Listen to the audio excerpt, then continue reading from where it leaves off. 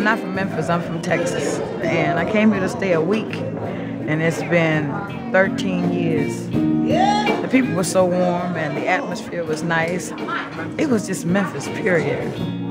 The entertainers who have gone on, they used to sing the blues, the ones that are still singing the blues and don't live here anymore, I want to keep their heritage alive and well. So in order to do that, you got to sing the blues. And you just can't sing one type, you got to sing a variety.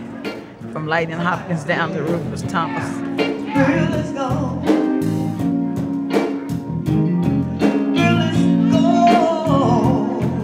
What I'm doing tonight is I'm using uh, a dictionary of B.B. King's music, like a, a volumes of music that you can purchase, and just sing B.B. King. I mean, he goes on and on forever.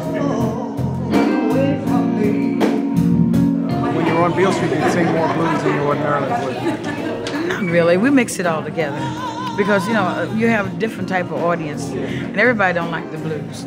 They like to hear rhythm and blues, pop, soul, a little country. So contemporary Beale Street music isn't just blues, huh?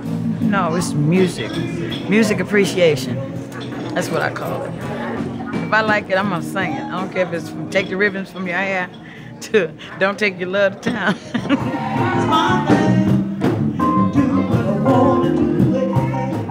advice would you give to a young singer coming up on Beale Street? Hang in there. There's a shining on the other side of the rainbow. don't just stop because somebody say you're good. Develop the talent and keep going. Can they make it on Beale Street?